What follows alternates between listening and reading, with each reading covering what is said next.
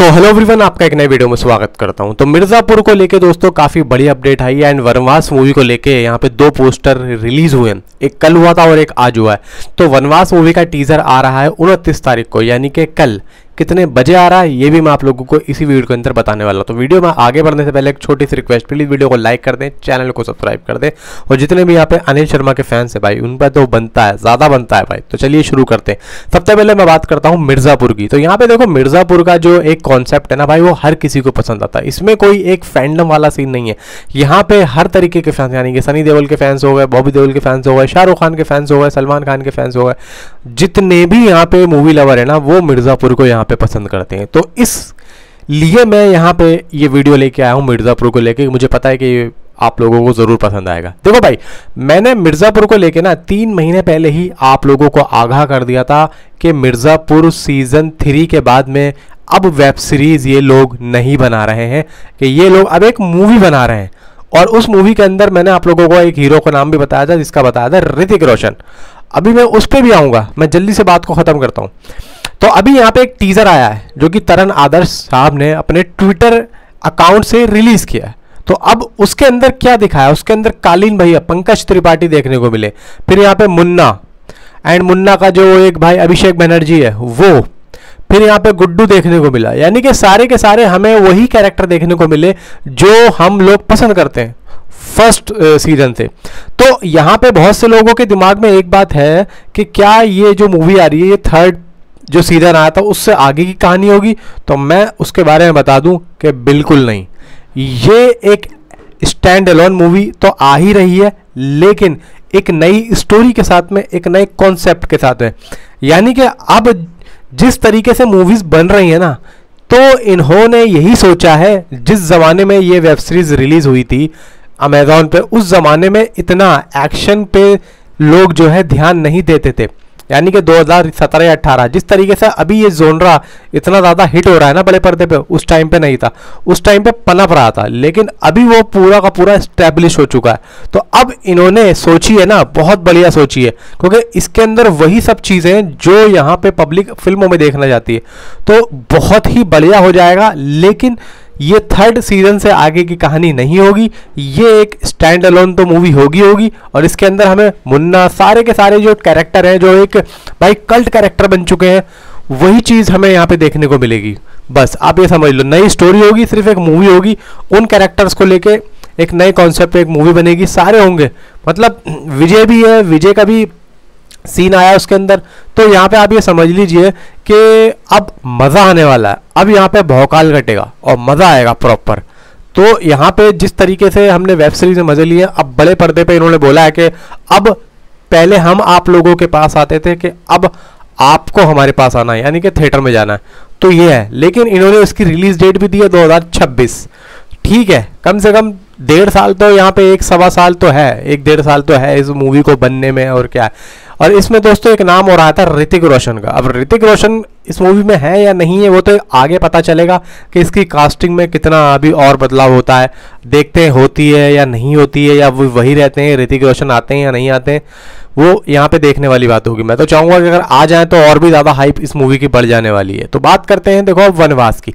वनवास से दो पोस्टर यहाँ पे निकल के आए थे। एक आया कल नाना पाटेकर का एंड आज आया उत्कर्ष शर्मा का। तो सबसे पहले नाना पाटेकर के पोस्टर पे बात कर लेते हैं। नाना पाटेकर का जो एक सीन है, वो एक पटिया पे बैठे हैं और पूरा जो आसपास इलाका है, वो है पानी। यानी कि आगे है समुंदर और पीछे है अपना कुछ घर बने हुए हैं और एक पटिया पे बैठे हैं और पानी के अंदर नाव है। तो यहाँ पे ये कुछ सोच रहे हैं और उन्होंने देखो किस तरीके के कपड़े पहने हैं। एक पहना है कोट, नीचे है ट्राउज़र, अंदर शर्ट, टाई और टोपी पे लगा रखी है और चश्मा लगा रहा हुआ और यहाँ पे कुछ सोच रहे हैं ये। तो यहाँ पे ऐसा लग रहा है कि यहाँ पे कुछ गंभीर सोच रहे हैं और कुछ यहाँ पे गलत हुआ है इनके साथ में और ऐसा लगता है कि ये अब क्या करें? ये कुछ ऐसा सोच रहे हैं। तो कुछ सीन आने वाला मूवी के अंदर जिसमें यहाँ पे मुझे लगता है कि बहुत ज़्यादा यहाँ पे पब्लिक इमोशनल होने वाली है भाई।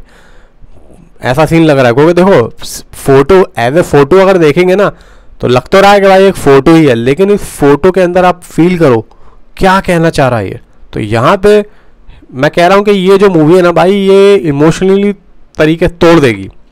ये बात है। अब चलते हैं सीधा उत्कर्ष शर्मा के पोस्टर की तरफ़, कि उत्कर्ष शर्मा का जो पोस्टर आया है, वो क्या कह रहा है? देखो भाई, यहाँ पे इनका पोस्टर जो आया है, वो बिल्कुल कूल लुक में आया एकदम कूल बाल आगे वो गिर रहे हैं बियर्ड लुक है चेन है चेन को मुँह में लिया हुआ है, हाथों और कलाई में भाई साहब कड़े और अंगूठी है और एक आराम से एक टी शर्ट सा इन्होंने डाला हुआ है। बहुत ही कूल लुक लग रहा है। और पीछे का जो सीन है, वो एक मार्केट का सीन है। पब्लिक घूम रही है। और बहुत ही यहाँ पे देखो नॉर्मल लग रहा है। कोई ज़्यादा एक चीज़ होती है ना कि मतलब बालों को ऐसा कर लिया, वैसा कर लिया। नहीं, ऐसी चीज़ नहीं है। और मुझे ऐसा लग रहा है कि ये जो मूवी है ना, ये एक नाइन्टीज़ के दौर पे यहाँ पे बनाई गई है। मुझे ऐसा लग रहा है। क्योंकि यहाँ पे जो एक ड्रेसअप है ना, नाना पाटेकर का तो उस चीज़ से मुझे यह लग रहा है कि या तो नाइन्टीज़ या 2000 का जो दौर है, उस दौर के हिसाब से इन्होंने मूवी का कॉन्सेप्ट तैयार किया मुझे ऐसा लग रहा है। क्योंकि देखो, अनिल शर्मा जो है, उसी दौर में, उसी दौर का दिखाने में यहाँ पे एक तरीके से जो एक महारत हासिल है उनको तो वो चीज़ मुझे यहाँ पे देखने को लग रही है। बाकी पोस्टर यहाँ पे अच्छा इसका टीज़र आ रहा है कल, और कल 11 बजे आप लोगों को इसका टीज़र देखने को मिलेगा। तो ये देखने वाली बात होगी कि भाई यहाँ पे किस तरीके से इन्होंने टीज़र को बनाया है? अगर देखो, इन्होंने टीज़र को एक रखा है ना इमोशनल एक इमोशनल हालाँकि एक मिनट पंद्रह या बीस सेकंड से ज़्यादा का टीज़र ना हो तो ज़्यादा बेहतर होगा। और एक इमोशनल टीज़र हो, जिसमें एक दर्द भरा बैकग्राउंड म्यूज़िक हो, और इनके कैरेक्टराइजेशन हो, बस, और कुछ नहीं। बाकी जो भी दिखाना है, वो यहाँ पे आप ट्रेलर में दिखाएँ, क्योंकि ट्रेलर बिल्कुल लास्ट में आएगा। अगर हम अभी से ही दिखा देंगे तो यहाँ पे पब्लिक समझ जाएगी स्टोरी और फिर थिएटर में आके कौन देखेगा। तो मैं तो यही चाहूँगा कि स्टोरी को यहाँ पे जितना छुपाया जाए, उतना ज़्यादा बेहतर होगा। बाकी यह है कि देखो यार, अनिल शर्मा तो हमसे ज़्यादा बेहतर जानते ही हैं और लग भी रहा है कि देखो मूवी एक अच्छे कॉन्सेप्ट है। और देखो, ज़्यादा बड़ा बजट इस मूवी का है भी नहीं, मैं आप लोगों को बता दूँ। और ये एक जो जिस बजट में ये बनी है मूवी ये अपना बजट कवर कर भी लेगी। Digital rights O T T rights music rights जो भी है, अपना कर लेगी। फिर कलेक्शन भी होगी बॉक्स ऑफ़िस कलेक्शन भी होगी। तो यहाँ पे ये मूवी ना एक ठीक ठाक कर लेगी और इसमें ज़्यादा टेंशन वाली बात होगी भी नहीं।